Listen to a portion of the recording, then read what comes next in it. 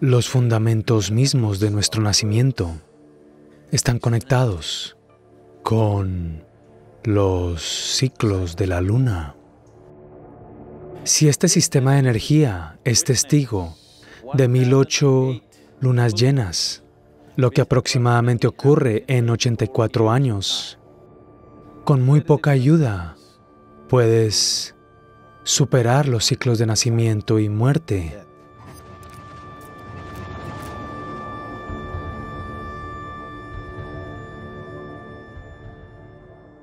La principal fuente de energía para este planeta es el Sol. Y tu cuerpo es solo un pedazo del planeta. Así que la influencia del Sol sobre todo lo que hay en el mundo es grande, muy grande.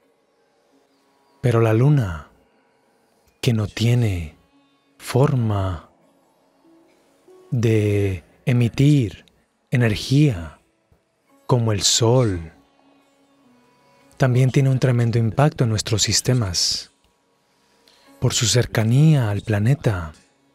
Entonces cuando queremos entender cómo funciona la vida, la forma en que nos sucede desde afuera, acudimos al sol cuando queremos entender la forma en que la vida sucede desde adentro, acudimos a la luna.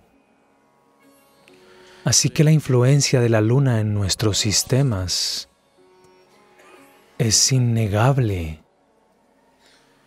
Los fundamentos mismos de nuestro nacimiento están conectados con los ciclos de la luna. Los ciclos de la luna y los ciclos biológicos naturales en un cuerpo femenino están 100% conectados, no hay duda sobre eso. Entonces la fuente misma de nuestro nacimiento está conectada al movimiento de la luna.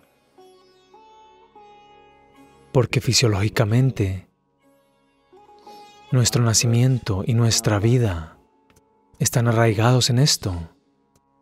En muchos sentidos, yo diría, en general, no siempre.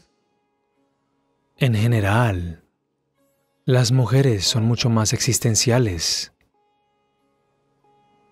porque su cuerpo habla el lenguaje de la luna. Este medir el tiempo no deberíamos malinterpretar medir el tiempo con relojes. Esos no saben nada, solo andan mecánicamente. Pero el cuerpo humano conoce el tiempo de una manera diferente, que no es un proceso mecánico. Bueno, aunque lo planetario o los movimientos de la Tierra y de la Luna en sí son un proceso mecánico de alguna manera. La consecuencia o el impacto que tienen en nuestra vida no es mecánico. Está muy vivo. Su impacto es muy poderoso experiencialmente en el desarrollo de la energía humana, en el desarrollo del sistema de energía de un ser humano. Si este sistema de energía es testigo de 1008 lunas llenas, lo cual aproximadamente ocurre en 84 años, habrás completado siete ciclos solares y 1008 ciclos lunares. Eso significa que tu sistema de energía madura a un punto en que aunque no conozcas ningún proceso espiritual, madura a un punto en el que puede florecer fácilmente. Puede suceder muy fácilmente después de la muerte. Si tu abuelo murió después de los 84, puedes estar bastante seguro de que no va a volver. Puede que no alcance mukti, pero no va a volver, está en varias etapas. Si tuvo sadhana, si tuvo alguna conciencia, si se fue con alguna conciencia, incluso un poquito de conciencia, seguro no vuelve. Solo con que logres vivir hasta completar siete ciclos solares y mil ocho ciclos lunares, entonces puedes romper cierto vínculo con la Tierra.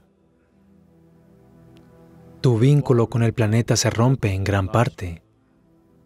Y muy fácilmente, con muy poca ayuda, incluso si no sabes nada, de nada, con muy poca ayuda, puedes superar los ciclos de nacimiento y muerte, porque tu vínculo con el planeta y el material del planeta, cuya memoria llevas dentro de ti y la memoria de ti, el material también la lleva.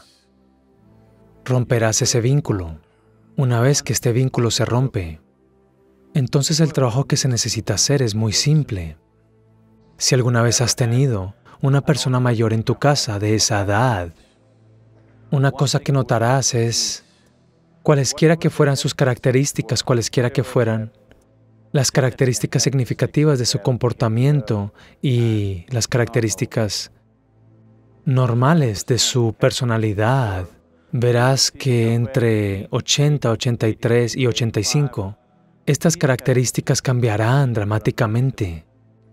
Supón que alguien fuera muy gruñón, verás que después de los 84, 85 años de repente es una persona muy alegre y agradable, o lo que sea. Algunos cambios, cambios significativos en su carácter ocurrirán, porque la atadura kármica que sujeta a la persona a un cierto patrón de comportamiento se aflojará.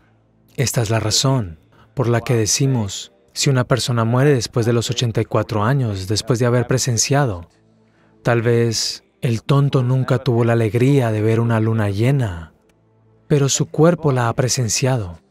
Tal vez sus ojos no lo han hecho, pero su forma física ha presenciado mil ocho lunas, significa su estructura kármica se aflojará. Una vez que se ha aflojado, no puede encontrar otro cuerpo inmediatamente ningún útero lo aceptará. Eso significa que estará por ahí y podemos muy fácilmente resolverlo así como así. No necesita pasar por otro proceso, incluso si vivió una vida absolutamente ignorante. Esta es la importancia de la larga vida. La gente siempre bendice que tengas una larga vida, no necesariamente porque te estés divirtiendo, aunque sea miserable Ten una larga vida para que nos libremos de ti para siempre, porque una vez que tu estructura kármica se afloja, encontrar otro útero se hace difícil, no imposible, pero sí difícil. Así que ese es el momento en el que habrá alguien que hará estallar estas cosas en algún lugar, donde sea incluso si no conoce ninguna dimensión espiritual en su vida. Así que si no sirves para nada, al menos vive lo suficiente. No lo hagas a mi alrededor. Si eres miserable, haz tus miserias en otro lugar y ven a los 84. Nos gustaría vivir con gente alegre. A los 84 es bienvenido.